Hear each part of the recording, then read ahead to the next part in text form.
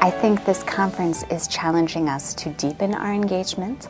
There was a session in how we might perhaps have more direct relationships with businesses. That would then challenge us to instead of be reviewing proposals, we'll be reviewing business plans. For myself, I know that I will look at the next project that I'm a part of um, and look at how they review business plans, perhaps asked to sit in on their selection committee. Certainly we always read the grant manuals and are aware of what our implementing partners are doing, but to actually sit in and try to score a business plan myself, that's something I'd like to try my hand at.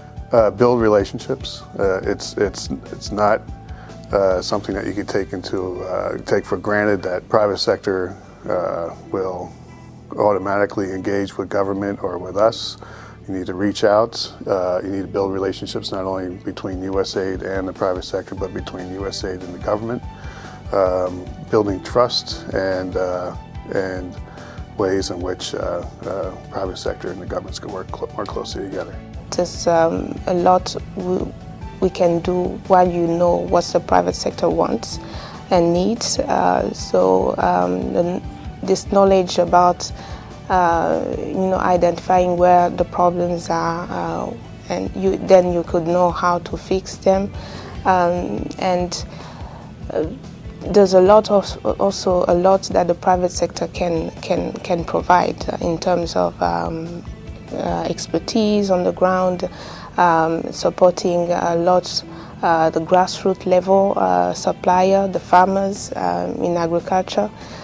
this is something that USAID can do in linking uh, the private sector to the farmers, uh, providing the tools and and uh, the, the, models and the, the, knowledge on how to link them and how to make uh, the system and the supply um, chain flow uh, very well.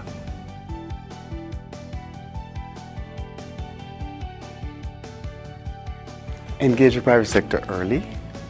It's critical. Do not focus solely around economic growth. Remember that the other facets, right, they do lend support to a lot of the other facets that USAID um, are involved in. Listen to them, okay, um, because this, this is about engaging and not just really trying to pass on what we would like to do. In terms of recommendations, just remembering that private sector engagement is not necessarily just about uh, large multinational uh, private sector actors. It's also, uh, it's also about small, medium-sized, and even micro uh, level private sector actors in, in your countries. Everything's open. Talk to everybody. There are good ideas everywhere. You never know where the connections and linkages are going to take you. It doesn't have to be hard, it doesn't have to be fancy, it doesn't have to involve a sophisticated procurement instrument. Sometimes just connecting people can make all the difference. Um, I think that's it's a specific unique role that most missions, if possible, should have. It's a pity that over the years it seems that we are losing more and more of this specific office as the private sector office. Um, I don't think it should be unique to the economic growth office, but the private sector is in all aspects of our work, and that's where we're going to be sustainable in our activities.